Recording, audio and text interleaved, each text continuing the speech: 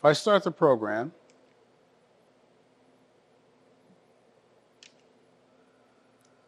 I can pause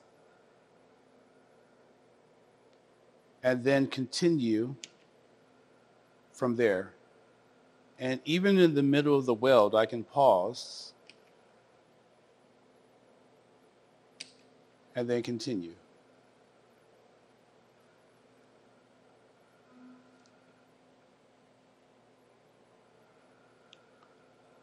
However, if I were to stop the program,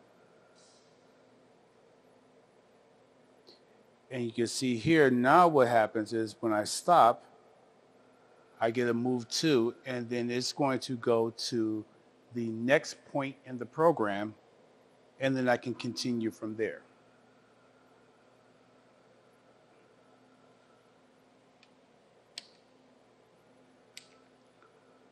We can see that again. If I pause, I can continue.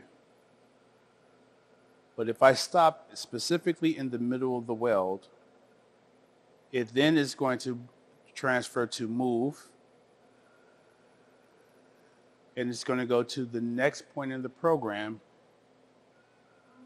where I can move.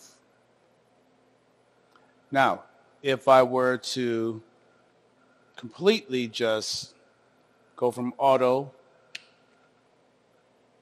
press in program, you can see what happened. I press in program, the cursor went to the start of the program. Okay. So if I were to press and hold the move, it's not going to the next point in the program, it's going home. So that is the difference. If you pause the program, it's going to continue where you paused. But if you stop, if you press stop, it goes to the next point in the program. If you hit the end program or you switch to teach, it essentially ends the program and you have to start over. Now, if this were to happen in the middle of the weld, what I would do is I would go to auto, I would have it disabled.